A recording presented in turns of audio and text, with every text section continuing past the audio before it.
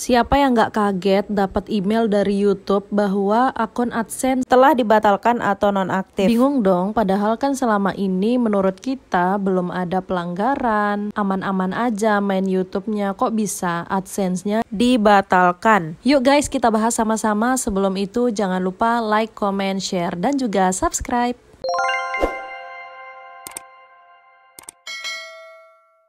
Hai guys, Assalamualaikum, welcome back to my youtube channel Oke okay guys, jadi di video ini aku mau bahas tentang per youtubean lagi Kemarin pada heboh banget karena dapat email pembatalan Google AdSense dari Youtube Kira-kira kenapa bisa dibatalkan kayak gini? Dan apakah saldonya yang masih ada sebelum dinonaktifkan bisa cair ke rekening? Dan bagaimana dampaknya untuk channel YouTube kita? Untuk YouTuber pemula, kalian akan mendapatkan jawabannya di sini. Untuk itu, stay tune di video ini. Semua informasinya berawal dari sini. Halaman beranda dan akun pembayaran YouTube per 23 Februari 2022.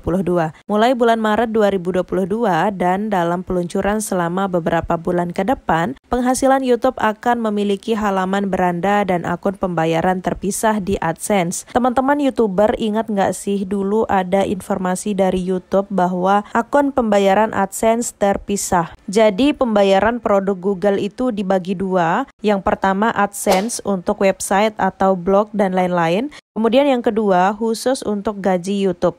Oleh karena itu, kenapa ketika kita buka Google AdSense dulu waktu berlakunya pembayaran terpisah ini, ada dua pilihan yang bisa kita klik di sana yaitu ada AdSense dan juga YouTube. Sebenarnya dengan pembayaran terpisah ini lebih efektif untuk teman-teman yang memiliki website atau blog atau menjadi seorang blogger. Akan tetapi banyak teman-teman YouTuber yang menjadi bingung gitu karena pembayaran terpisah jadi harus mengklik salah satunya. Pengalaman AdSense untuk kreator YouTube kini semakin meningkat mulai bulan Maret 2022 dan diluncurkan selama beberapa bulan ke depan. YouTube akan memiliki halaman beranda AdSense untuk YouTube khusus di AdSense. Dengan halaman ini, kreator dapat mengakses penghasilan akhir dari YouTube dengan lebih cepat di AdSense. Selain itu, pembayaran untuk penghasilan YouTube akan dipisahkan ke akun pembayarannya sendiri. Artinya, akun pembayaran YouTube dan AdSense akan memiliki jumlah nilai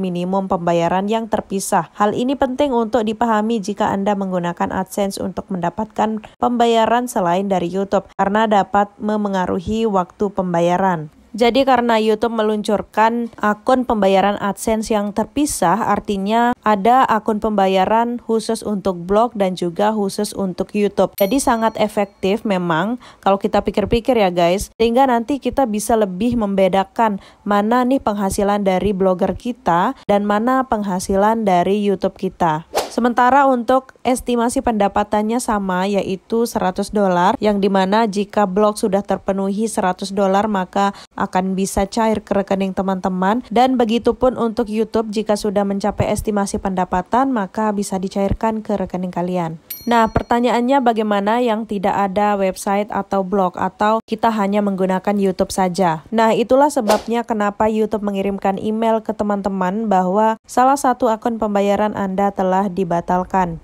Karena untuk teman-teman yang nggak punya website atau blog atau hanya menggunakan Google AdSense-nya untuk YouTube saja, Artinya Google AdSense untuk YouTube itu masih aktif, sementara Google AdSense untuk blog atau website itu yang tidak aktif atau tidak kepake. Nah, oleh karena itu kenapa teman-teman mendapatkan email pembatalan seperti tadi itu? Karena AdSense untuk blognya kalian itu nggak kepake atau hanya menggunakan AdSense-nya itu hanya untuk YouTube. Ya kalau ada YouTuber yang menggunakan blogger juga atau website gitu, maka mereka tidak akan mendapatkan pembatalan seperti ini. Selanjutnya bagaimana dengan saldo yang masih ada di AdSense yang dibatalkan tadi? Apakah bisa cair ke rekening kita atau bagaimana? Lagi-lagi masalah estimasi pendapatan yaitu 100 dolar guys. Kalau ada saldo kalian di info pembayaran AdSense minimal 1.300 ya untuk 100 dolar itu tetap bakal bisa cair ke rekening kalian. Tetapi guys, kalau di bawah itu di bawah 100 dolar tidak akan diproses alias hangus. Lalu apa dampaknya ke akun AdSense YouTube kita? Jadi akun pembayaran yang aktif lainnya dengan Google AdSense saat ini ya guys tidak akan berdampak. Artinya kalau kalian cuma pakai untuk YouTube ya nggak bakal terdampak apa-apa gitu guys. Saldonya akan tetap masuk dan cair jika sudah mencapai estimasi pendapatan.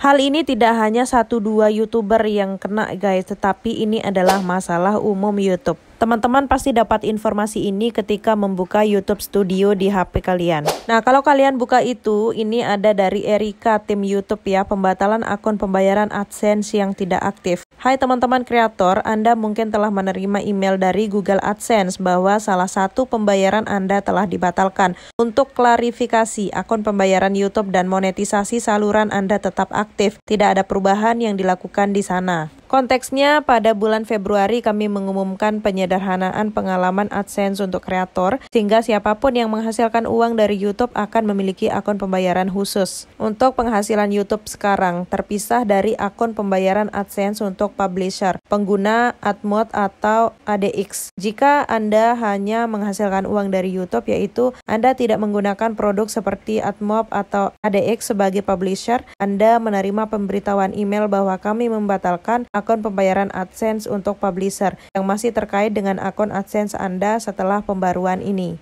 Akun ini tidak terkait dengan akun pembayaran YouTube Anda dan pembatalannya tidak akan mempengaruhi kemampuan Anda untuk memonetisasi channel atau menerima pembayaran AdSense YouTube. Erika, tim YouTube.